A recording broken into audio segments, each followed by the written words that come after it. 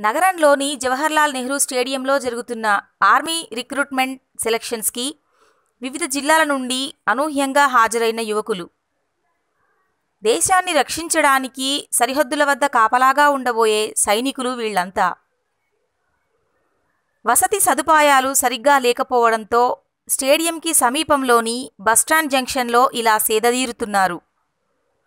అయ్యో పాపం తాగడానికి మంచినీరు కూడా ఏర్పాటు చేయలేదు సరికదా?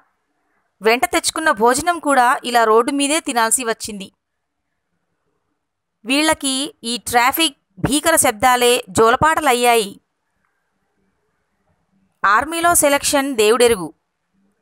కష్టాల ట్రైనింగ్ మాత్రం ఇప్పుడే మొదలైంది.